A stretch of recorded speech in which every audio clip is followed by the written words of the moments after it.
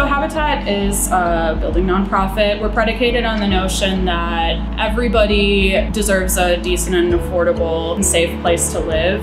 We're doing that by building affordable housing, but we're all about building community as well and engaging community members. The primary objective is to get people out of substandard, unaffordable rental housing and into home ownership, into a situation where people can build equity. Uh, it started very small scale, like rural communities, neighbors building homes for one another, home ownership a lot of those are like pillars of habitat that have kind of remained the same, but it's just changed now that habitat's grown and gone into more urban environments and just very different styles of building and different neighborhood needs.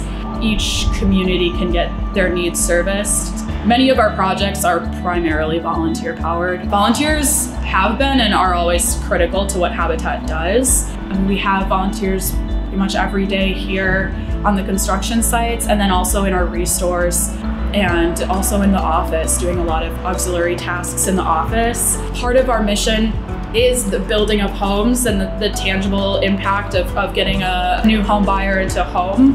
Part of it is this sort of invisible kind of community engagement element, and we are trying to partner community members with the future home buyers. We're trying to connect future home buyers with one another